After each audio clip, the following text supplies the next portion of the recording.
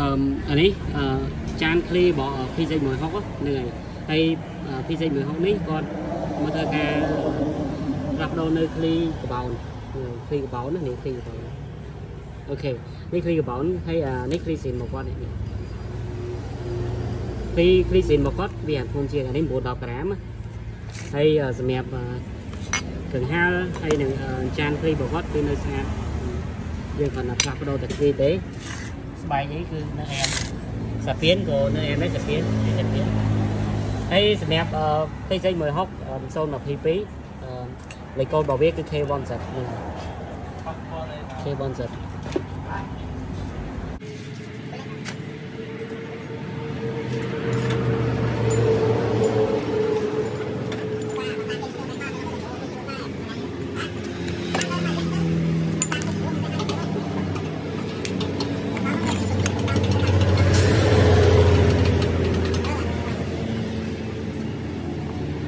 ติดตามได้